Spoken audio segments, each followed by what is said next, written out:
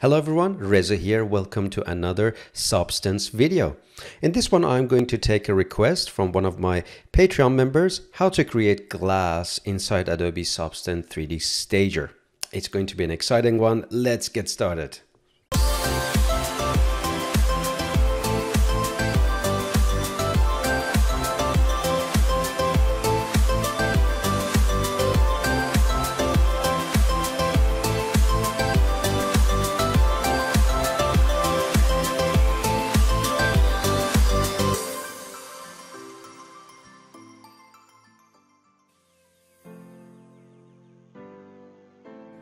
Here I am inside Adobe Substance Painter where I painted the base of my model. Uh, I've got three texture sets, the base, and I've already textured that. I've got uh, the bubbles and they're inside this glassy object and I've got a cylinder and I would like to apply glass to this as well. Now, I, in another video, I talked about how to enable opacity and bring the opacity channel into Adobe Substance Painter, but the whole idea is to add more than that. Add a little bit of reflection the light bending process. So all the bubbles inside the glass get a little bit of distortion. And these are the things that you should either do in uh, other software packages like Maya or Blender or you can bring the whole thing into Adobe Substance 3D Stager and tweak the materials and get them ready for your final presentation. And that's the whole idea behind this tutorial. Now, first things first, I need to take the whole thing and export that to Adobe Substance Stager. It's very, very easy. I already have a YouTube short for it, I believe. You go to File and go to Send to and send to Substance 3D Stager.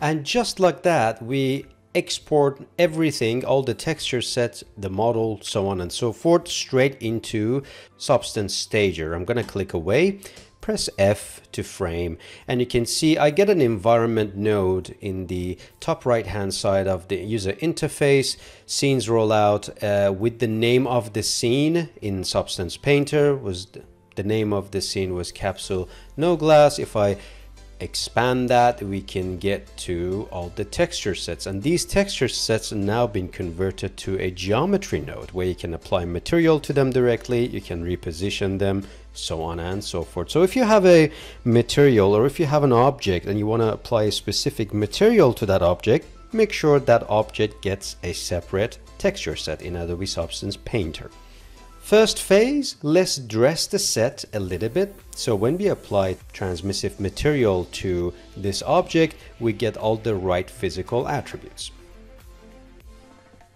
Starting with the environment, I'm going to go select the environment, go into light, and that's where you can apply a different image to your environment. I'm going to go to lights, scroll all the way down and pick something relatively dark and dim. Uh, I can see Studio 4 gives me a, quite a, an interesting look. Because I have emissive objects, I would like those objects to stand out. Obviously, I don't want the objects to be too bright. That kind of defeats the purpose. Now, for the intensity of this light, I can just give this, I don't know, uh, 50, 50 something, 53. Let's start with that and we can just change that if need be.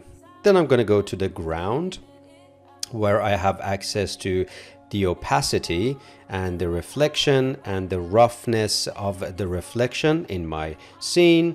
I want to have ground plane so opacity has to be set to 100% and you get a really nice tooltip actually showing what attribute does what. For um, reflection opacity I'm just going to get a little bit of reflection. And of course for roughness I would like to get just a little bit of roughness as well. So it's not like a mirror you place the object on the mirror. That crispiness is not going to go well with the design that I have now that's it for the environment. Let's apply a few manual lights. So you can go and select the light menu and you've got a few different types of lights at your disposal. You've got a directional light, which is like a sunlight. We definitely don't want that. You get a plane of, right, uh, of light, which is called area light, and you get a cone of light, which is called spotlight. That actually looks nice. I can move this down and rotate this light ever so slightly. And you can do that via transform. That's how you rotate the light if need be. So I'm going to reposition this light ever so slightly move it up in y-axis and tweak it in z-axis. So it's kind of shining light like so. I don't want that to be too direct. Obviously, um, I've rotated it 180 degrees and 180 degrees and um, yeah, something like that will do. Just a little bit of uh, angle to give it a nice looking fall off. Now you can go to the actual object light and play around with exposure. So um, at this point, exposure of 10 is a little bit too high. I can kind of tone it down. Um, intensity, uh, I do want to bring up intensity just to make up for the exposure that I just reduced. For color, I'm really unsure. I'm going to start with a nice blue color, but I may change that later on. I'm just going to kind of take note of this and see if I can um, get a better result. And I am going to increase the fall off to have smoother um, edges around. So I don't know, I'm going to exaggerate. Let's uh, try 110. Definitely a smoother fall off is what I want. And I'm gonna try almost the same thing in here. So increasing the, the size of the cone, but reducing the sharpness of the light color around the edges is what I'm kind of aiming for.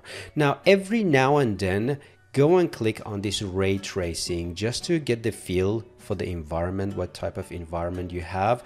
So right off the bat, I see that the ground plane in the environment, this color is just way too bright. I'm just going to tone it down a little so everything shows better. So if I go in there, now you can see the way that it's presented actually looks much better. I don't want to constantly work within the ray tracing, especially with the same machine that I'm recording. It's not a good idea. I need to apply another light, but this time I would like to apply it inside this canister. Now, um, I've got two objects. I've got the base, which I'm not going to change. Obviously, that has to be locked. Then I've got the bubbles and the glassy canister. Now, I can just hold down Control left mouse button to change my texture sets or uh, geometry nodes for lack of better word or you can use the scenes node. I can hold down control and comma on the keyboard and hide object so I'm just going to hide that canister glass so I can get to the actual model. You can see I've got these bubbles that I uh, need to texture in a second. I'm tempted to just put a light in there and make the canister look slightly brighter. So we might as well do that. I'm going to do that with a simple point light. I don't want to um, make it too complicated. I'm just going to move this up. I need to figure out about the position in a second, but let's kind of figure out the colors first. For the color, I'm gonna go with this uh, very bright green color and I know it looks a bit ridiculous but bear with me it will get better uh, I will reduce the exposure for sure. The exposure is way too high so I just want to kind of confine that. And of course as usual I want to reduce the um, radius a little bit so maybe 0.8 just a smaller light to work with is definitely better. As for the position of it I would like to lower this so so something like one um, should do the trick 1.19 just to make sure that it's all good now uh, with that done I think we're in a position to start uh, applying materials to the geometry nodes that we have. I'm just going to enable ray tracing to see what type of look I'm getting because you can see the light is not too bright it's not too distractive. I'm not getting uh, light bleeding or light leaking happening on the ground and so far so good. I'm happy actually with the result. Let's go and in the next chapter texture or apply materials rather to the to the bubbles All right, I'm all ready to go. I'm gonna turn off ray tracing and have a look at my bubbles node. Go into properties, pick material, and I've got a default material. You can delete this material and start working with a brand new material, or you can just tweak what you have and uh, get the result.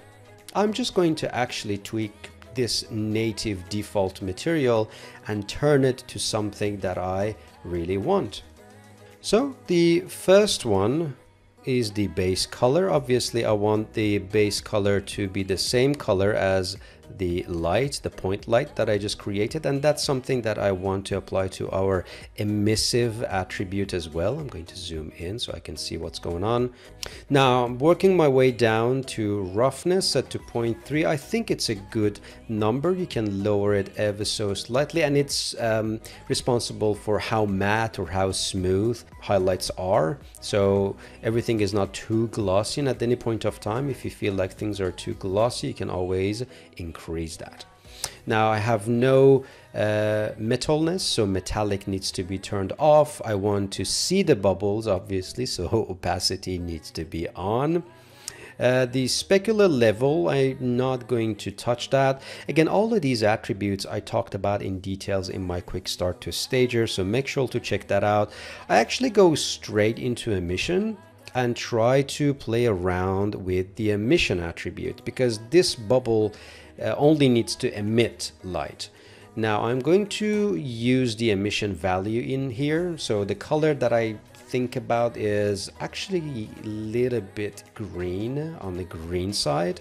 So that should give me a good result. You can definitely go over one. Um, as a matter of fact, I do. I'm going to go and start with something close to two, like 1.8 is a good starting point. At any point of time, you can always go back and change stuff.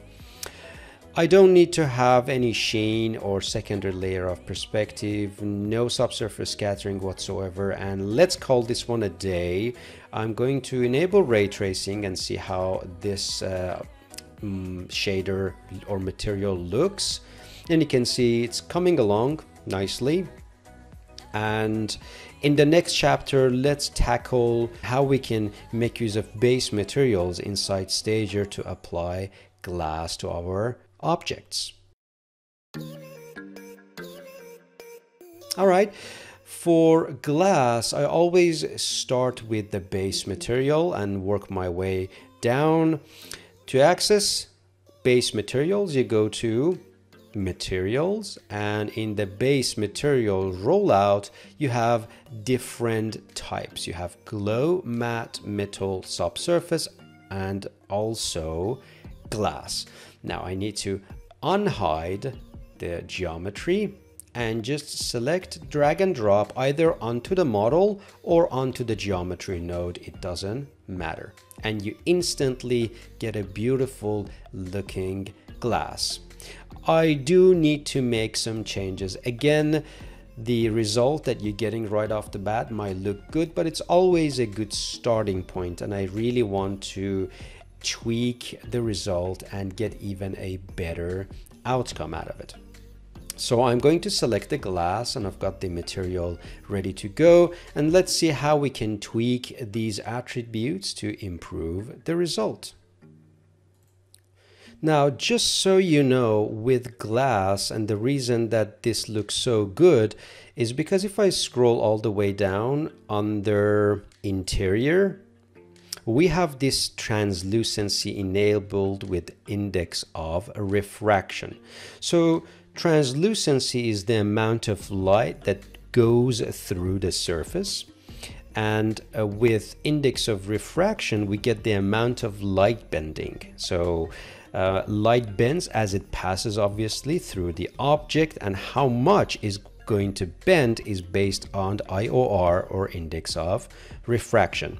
We also have the absorption distance. And if you set the absorption distance to zero, thickness will not um, affect absorption color. So the light goes straight through. So make sure that you have some values in absorption distance. Otherwise the result would look somewhat fake. And of course, we've got absorption color, which basically is responsible for tinting your glass. And we see if we really need to do that or not in a second. So with that in mind, I'm just going to scroll up and start from the top. With base color, I am not going to give this any color. As a matter of fact, you can just turn this one to black and completely remove it from your attributes. Roughness, I am going to leave it as default because I'm about to show you a really nice trick to add so much details into your glass surface.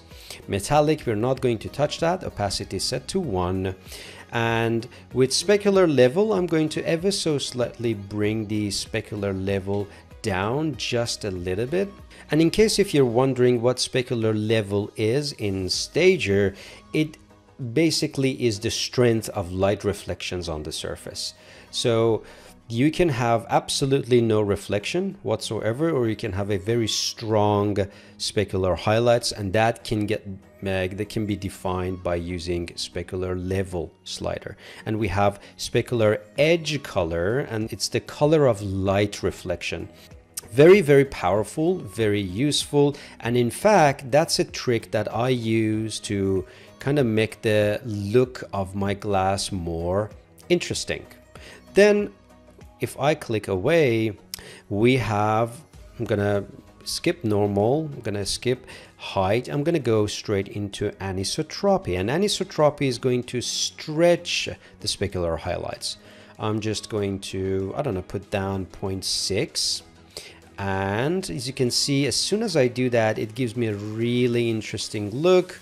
I'm gonna change the angle to something like one and you can play around with it and see how different this looks based on different anisotropy angle. But I found anisotropy very very useful unless you're going with the, an absolutely brand new clear glass for your model. In that case you may want to have the anisotropy set to zero.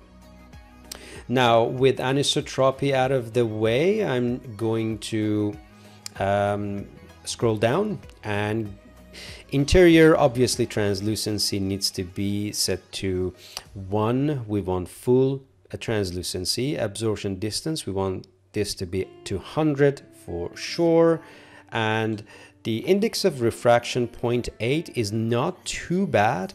If you want to exaggerate the scenario and get more light bending, you can uh, crank it up to a really crazy value. So for example, 2.1 is uh, is very high, but you can see it shows how thick the result is. Whereas if I change the value of IOR to something like 1.1, we get almost the same result. So I personally think high index of refraction is more exciting the look is more interesting but of course at the same time it needs to be physically accurate. I highly suggest you to check the index of refraction table in real life and see for example what diamond gets as opposed to water or even clear air with no light bending. So that's that. We do not want to have any clear coat um, whatsoever. You can have a little bit of dispersion and add a little bit of dispersion inject that to your glass.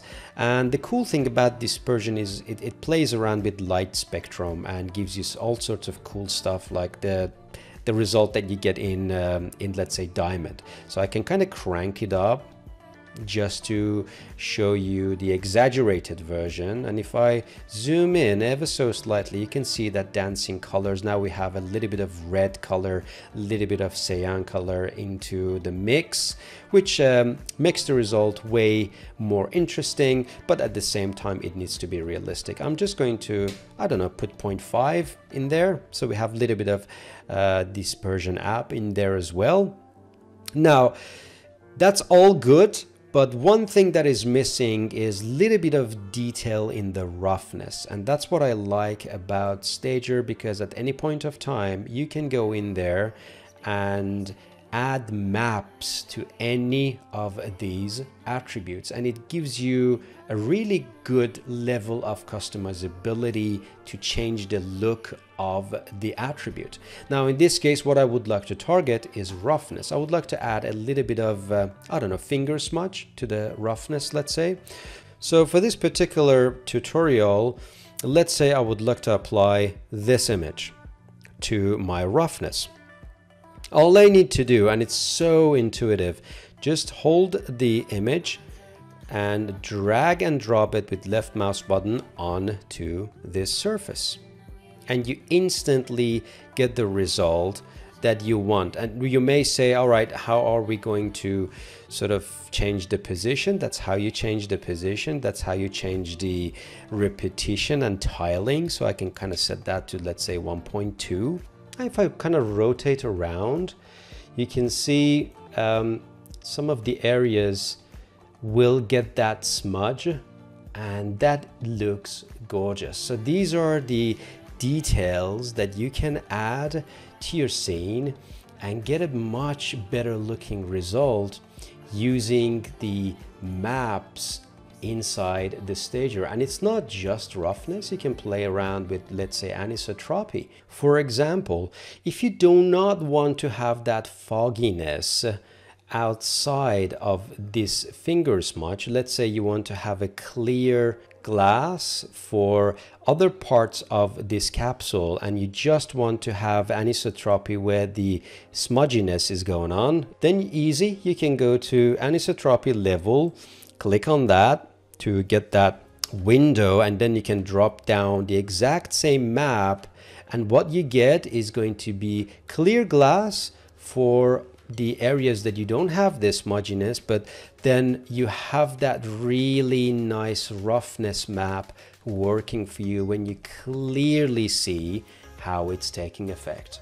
So that's the, the power of adding maps to customize the attributes inside Adobe Substance Stager.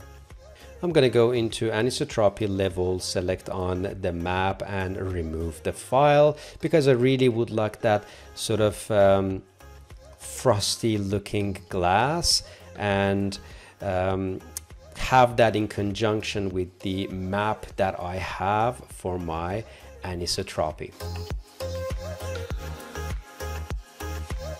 After this point, you can go to render and start rendering your scene. If you want PSD, then you get multi-layered file. You can have it as PNG and get the transparent result and replace the background with your custom background. You can apply presets if you have displacement map. It's time to enable it and then specify the path and hit render. And this is it that's the end result.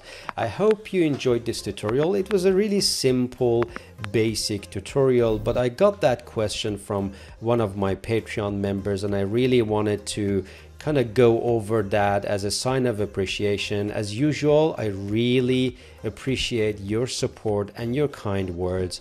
Stay safe, take care, until the next video. See you guys later.